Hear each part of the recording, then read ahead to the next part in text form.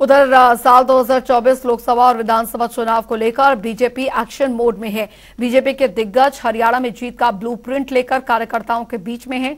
इसी कड़ी में राय के मोतीलाल नेहरू स्कूल में पन्ना प्रमुख सम्मेलन का आयोजन किया गया, जिसमें कि बीजेपी प्रदेश प्रभारी विप्लव देव ने शिरकत की और कार्यकर्ताओं को गुरु मंत्र दिया। उन्होंने कहा कि बीजेपी चुनाव को लेकर रणनीति तैयार नहीं करती, बल्कि चुनाव खत्म होने के बाद आगामी चुनावों की तैयारी शुरू कर देती है। कांग्रेस को निशाने पर लेते हुए उन्होंने कहा कि कांग्रेस के पास ना तो नियत है और ना ही नियत है। कांग्रेस अपनी फूट के कारण अभी तक जिला संगठन तक नहीं बना पाई है। भारतीय जनता पार्टी रणनीति बना के चलने वाला पार्टी नहीं है।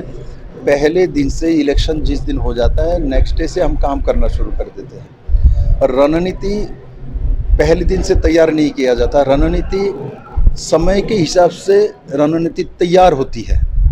हमने पाँच साल पहले ही तैयार कर दो। हरियाणा में विधानसभा कैसे लड़ूँगा, लोकसभा में क्या होगा, पाँच साल पहले हम इसका दिशा तैयार कर सकते रणो कौशल तैयार कर सकते किंतु वो कैसे होगा उसका प्रिंट नहीं निकाल सकता हूँ क्योंकि राजनीति टाइमिंग के ऊपर होता है।